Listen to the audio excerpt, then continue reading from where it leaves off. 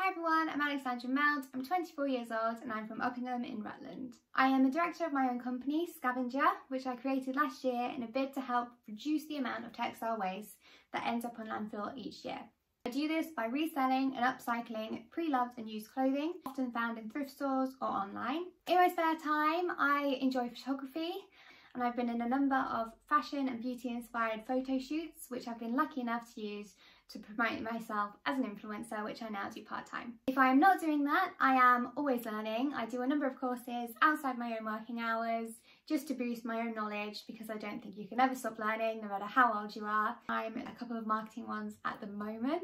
Pageantry to me is not about wearing a beautiful dress, it's meeting lots of new people, hearing their stories, going out and using that platform to really make a difference and promote change, not just in your county, but all over the globe. It's an amazing feeling just to be a part of that.